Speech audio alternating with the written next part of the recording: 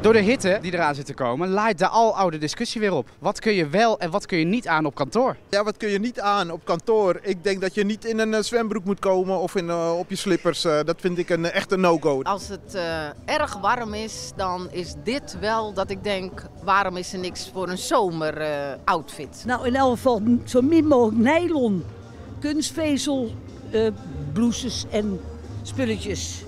Katoen, veel katoen moet je aandoen. Misschien voor sommigen ook wel een keer belangrijk om een ander setje mee te nemen. Want uh, van die natte oksels is natuurlijk ook geen gezicht. Ik heb uh, allerlei experts om advies gevraagd. En eigenlijk, um, ja, het verschilt heel erg waar, wat je, waar je werkt, wat je wel en niet aan kan doen. Zo uh, moet iemand die bij een bank werkt er meestal wel wat netter uitzien dan iemand bij een reclamebureau bijvoorbeeld. Vooral luchtige kleding, katoenen kleding, wat wijdere kleding. Daar heb je het en wat koeler in en je krijgt ook niet zo snel zweetvlekken. En je bent nog steeds wel redelijk bedekt. En wat kan nou echt niet op kantoor? Nou, volgens de experts uh, te bloot, te strak, te sexy en dingen die je echt uh, alleen naar het strand aan kan.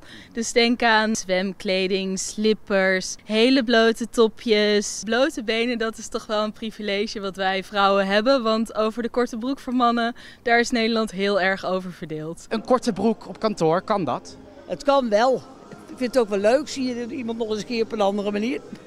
Nee, nee, nee, nee, nee, nee, dat vind ik niet. Weet je wel, je komt toch voor je werk daar en dit is uh, puur uh, zakelijk en houdt ook zakelijk. En uh, ja, met een korte broek lijkt het neer of je op het strand gaat. Je hebt ook mannen met hele mooie benen, denk ik. Dus voor mij moet dat wel kunnen, ja. Bij de vrouwen een topje? Nou, ik denk dat dat minder is. Ik, hoop dat, ik denk dat we dan misschien weer wat problemen krijgen met seksistisch geschreeuw en gedoe. Als ze zich zelf lekker in voelt en ze voelt er daar gewoon prima bij, dan zou ik... Ja, ik zou niet weten waarom niet. En bovendien, als je airconditioning hebt, is het ook niet echt lekker, denk ik. Wordt ook een beetje koud.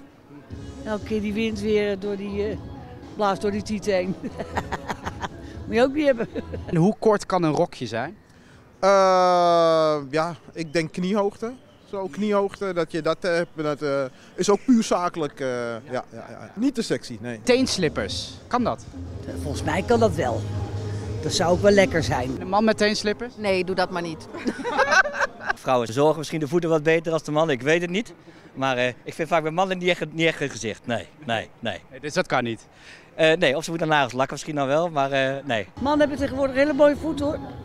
Ja. ja.